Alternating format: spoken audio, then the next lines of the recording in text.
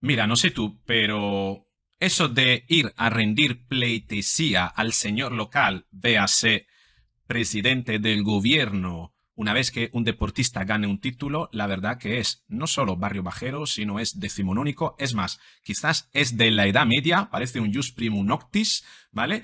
Y creo que en el fondo debemos de revisar todas estas cuestiones que hacen que los deportistas que por sus méritos consiguen una serie de logros que no tienen nada que ver con eh, lo que hacen los políticos, tengan incluso que desplazarse a enseñar la copa, el trofeo, al político de turno. ¿Y por qué no es el político de turno que va a rendirle los honores, no sé, a su casa, a la federación, a esos deportistas, a visitarles y mandarles el saludo, eh, presentarles el saludo y el homenaje de los ministros a los deportistas en su casa, ¿vale? Pero esta señal de sumisión, de tener que ir a visitar al político de turno que no es un jefe de Estado, sino un político de turno que está ahí por un mandato temporal, la verdad que da mucho que pensar. Y reconozco que haya deportistas que se encuentren incómodos ante estas eh, fotografías que se tienen que hacer simplemente porque lo dice la federación, simplemente porque lo dice el señor local.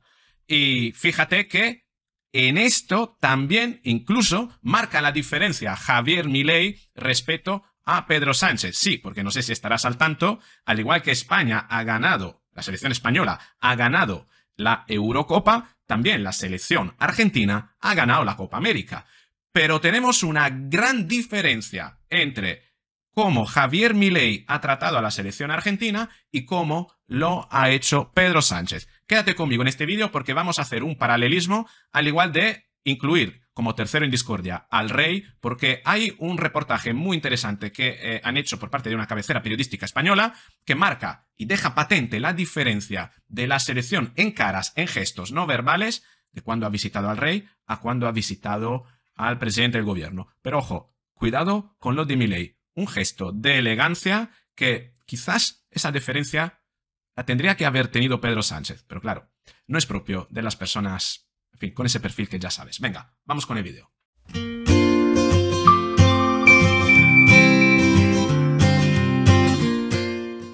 Así es, Milei marca un gol a Pedro Sánchez en estilo en cómo tratar la recepción de la selección campeona. Em, y bueno, lo vamos a ver, lo vamos a ver en este vídeo, no sin antes eh, pararnos en analizar un poquito eh, de eh, libertad digital que ha hecho este paralelismo, cómo ha sido el pasamano de la selección con Pedro Sánchez y cómo ha sido el pasamano de la selección con el rey.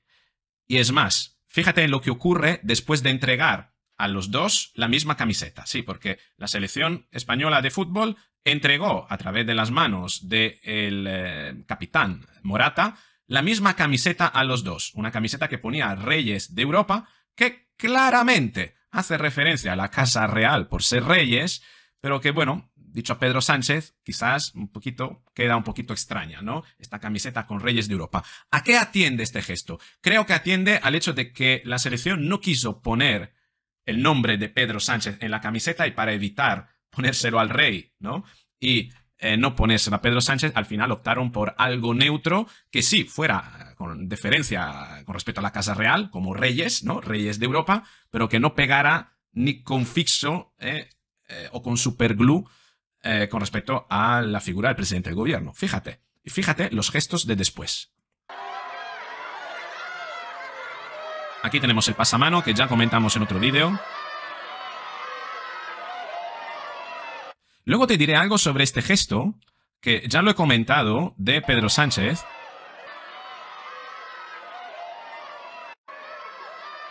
este gesto que hace Pedro Sánchez como que se da un golpe a la pierna. Algunos lo han interpretado como que se limpiaba la mano de Carvajal. ¿Lo ves? Pero no es ese. Eh, tiene otra interpretación desde mi punto de vista, pero seguimos con el pasamano.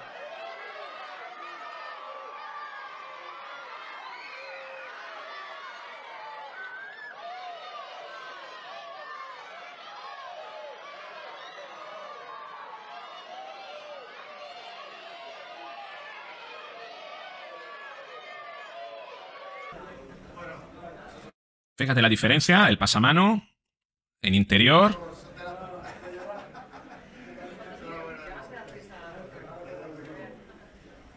Todos estrechan mano y hacen contacto visual. Contacto visual es muy importante en un estrechar de mano. Fíjate qué enérgico, ¿no? El pasamano del rey.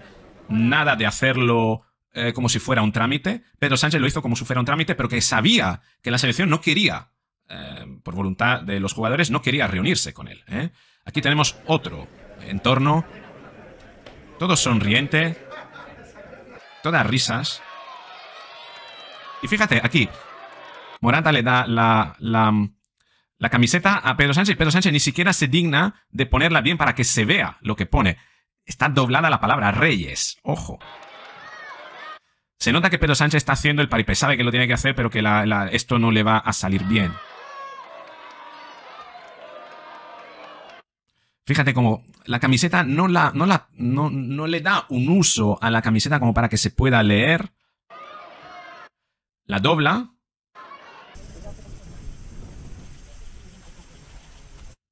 Fíjate, el rey, sin embargo, la abre bien la camiseta, mira a Morata, se, pone a, se ponen a reír, la mira también al revés para ver qué es lo que pone, la mira, dice que pone, que dice Reyes de Europa, ¿no?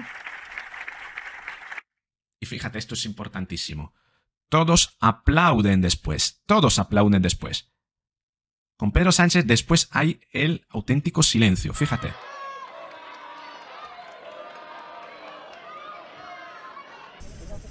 Tremendo, ¿eh? Tremenda esta diferencia entre el no aplauso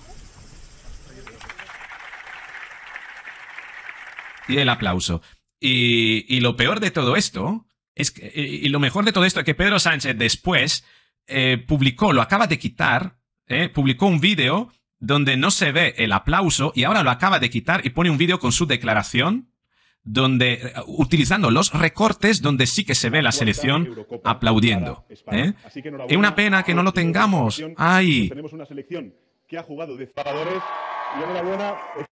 Fíjate cómo ahora en el nuevo recorte que pone Pedro Sánchez ¿eh? aparece la selección aplaudiendo. Pero esta tarde, hasta hace unos minutos, el vídeo que ponía Pedro Sánchez era nefasto, porque se veía precisamente la falta del aplauso, ¿no? Y lo acaba de cambiar.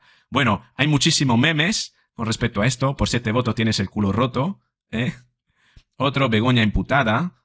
Pero además, si queremos rizarle el rizo, em, vayamos a analizar la diferencia de estilo entre Pedro Sánchez y Javier Milei. Sí, porque, em, fíjate, eh, con Pedro Sánchez ni siquiera se ha puesto ante la duda la posibilidad de que la selección no fuera a visitarle a la Moncloa. Sin embargo, Javier Milei sí que eh, fue preguntado al respecto, nada más saberse que la selección argentina iba a volver con el trofeo Argentina y fíjate qué es lo que eh, contestó al periodista que le preguntó. ¿Le gustaría recibir o invitar a los futbolistas por este logro eh, a una felicitación o usted iría al predio de AFA a felicitar y a saludar a estos jugadores que han representado también a la Argentina? sí, me, me, encantaría, pero es decisión de ellos el respeto hacia la decisión que ellos tomen y si ellos consideran que, digamos, quieren usar el balcón, les cedo el uso del balcón. Fíjate, es una, decisión de ellos y si quieren hacer uso del balcón de la Casa Rosada, pueden hacer uso del balcón. Es decir, les pongo a disposición la Casa Rosada si ellos quieren, pero es decisión de ellos. Fíjate qué diferencia por parte de Javier Milei poner a los demás ¿no? en el poder de elegir, mientras que la selección española tuvo que doblegarse a rendir pleitesía al presidente del gobierno sin siquiera cuestionarse o tener la posibilidad de valorar si esto merecía la pena hacerse o no. Porque en España el jefe del Estado es el rey, no es el presidente del gobierno. El presidente del gobierno está de paso, el presidente del gobierno está de parte, representa un gobierno, por tanto, representa una parte del electorado y la selección es un patrimonio nacional, es un patrimonio que va mucho más allá. Debería adherir más a la figura del rey realizar este tipo de cosas y no a un presidente del gobierno que podría utilizarlos con, em, digamos, con intenciones partidistas. ¿eh? Fíjate hasta qué punto Javier Milei marca una diferencia de estilo con respecto a Pedro Sánchez que dentro de su concepción autocrática y narcisista al final fuerza una situación en el que, mm, una vez más, aparece como el rey desnudo, ¿no? De ese cuento, en el que, bueno, pretende aparecer con un gran vestido, pero todo el mundo al final se da cuenta de que va desnudo y que nadie le está bailando ¿eh? la música que está tocando. Eh, si ellos estarían dispuestos a recibirme y saludarlos, para mí también sería un placer. Así que, eh, pero esto es una decisión que tienen que, tomar ellos, porque este es un triunfo de ellos, es el premio del logro de ellos. Eh, Gabriel, mira, te voy a pasar con alguien. Y aquí la, conversación cambia de, em, cambia de tema, ¿no? Fíjate, ¿no? Diferencia, Pedro Sánchez, Javier Milei, en fin, ¿qué te ha gustado más? Te hemos puesto también el rey en este vídeo. En fin, cuéntame tu opinión. ¿Tú crees que es necesario y es conveniente, es eh, em, justo que un deportista que gane un título tenga que ir a visitar al presidente del gobierno, tenga que hacer ese gesto de eh, pleitesía, ¿no? Porque al final es ir a visitarle, ¿no? O tal vez consideras que deberían ser los políticos que pidieran reunirse con ellos en la sede de la federación a la que pertenecen esos deportistas. En fin, ¿hasta qué punto el ir a, rendir pleitesía a la casa ¿no? de un presidente del gobierno no puede ser, no puede verse como un gesto de sumisión y, el hecho de que esto, que, que los deportistas tengan que sentirse obligados en hacerlo, una forma de falta de libertad?